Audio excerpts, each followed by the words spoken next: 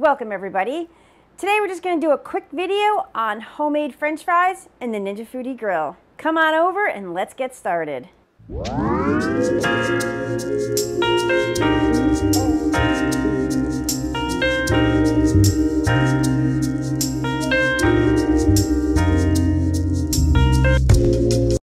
So we're just going to jump right in.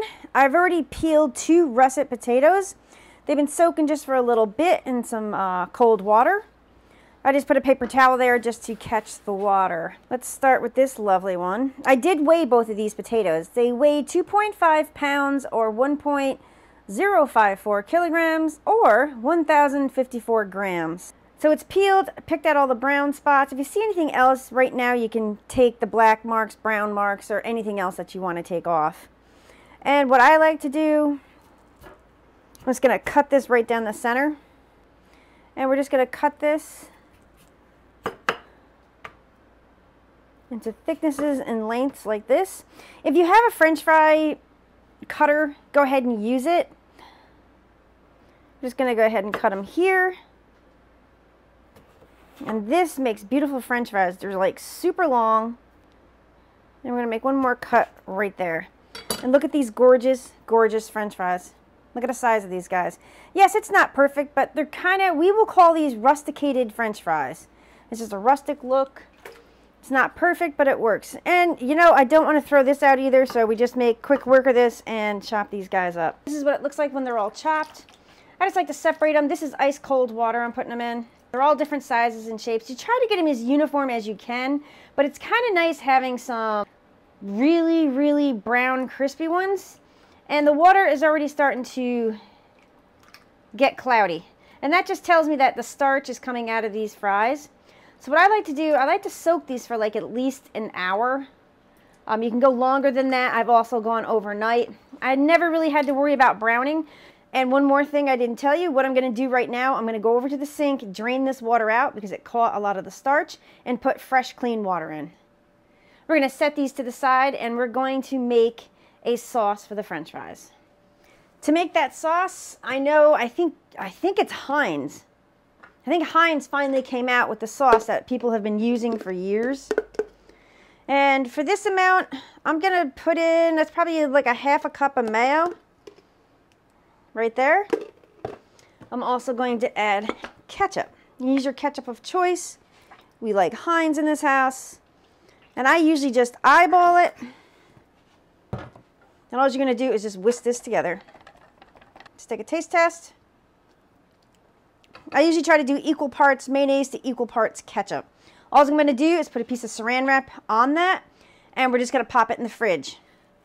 So what I like to do next is after these have soaked for at least an hour, you're going to take those fries and you're going to put them on a paper towel lined counter. I'm just using a whoops, I'm just using a quarter sheet tray to dry these fries. You want these as dry as you can get them.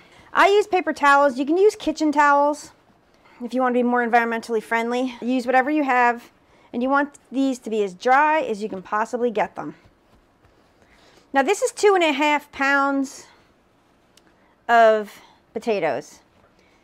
Now I think, I do believe the max is two pounds in this basket. Now I have tried cooking two pounds of homemade fries in this basket. It's not going to work. Um, what ends up happening is that the tips get brown, the ones that are sticking out that actually uh, get the heat. It just, it doesn't work. I've tried it, I've tried it. So we're just going to take half, half of that, which is probably like a little, you know, a little over a pound. But this is a good amount of fries right here. You're just going to take those homemade fries that are going to be so delicious. Ugh, you guys won't believe this. It's wonderful. I'm going to go ahead and spray some avocado oil on these fries. Next, you're going to grab some kosher salt. And it seems like there's a lot of salt, but it's really not. Potatoes require a lot of salt. And I'm just going to put some fresh black pepper on these fries. And just take your hand and you're just going to combine these fries with the oil, with the salt, and the pepper. I think it makes a really nice fry. Now, if you think your fries are a little dry, like they need more oil, and you're going to spray them down again and just give them a toss. The fries are all set. They have oil, salt, and pepper on them, and we're going to put them into the Ninja Foodi grill. You're going to make sure your ceramic pan is in, and your air crisp basket, and your mesh shield that goes on the top of the heating element. You're just to go ahead and pour your fries right in there. Go ahead and close the lid. And turn it in your Ninja Foodi grill on. Choose air crisp. We're to keep it on 390, and we're to hit start. Now it's to go ahead and preheat, but to skip this step, so I can keep track of the time, which I prefer, you're to hit air crisp again. It's going to say add food. You're to pop the top, lower it, defaults to 20 minutes. We're to keep it on the 20 minutes, and I'm to check these in probably like six or seven minutes. I was a little late to the party here. 10 minutes have gone by. I just want to look at these french fries. They're coming up nicely. Now, sometimes you want to be gentle with these fries because they will break in half. Just try to separate them as best you can. Make sure they're not stacked on top of one another. Go ahead and lower the lid and we're gonna let these cook. I'm gonna check them probably in five minutes. All right, so we have about five minutes left. Woo! These fries look so good. And do you hear that? Listen. They are crispy, crispy, crispy. So these cooked for probably a total of 17 minutes and change. So I would probably just say these took 18 minutes to cook at 390 degrees. Yum! Time for that taste test. Look at these beautiful fries. Mayo and ketchup mixed together. One of the best things in the whole wide world. Let's do a taste test.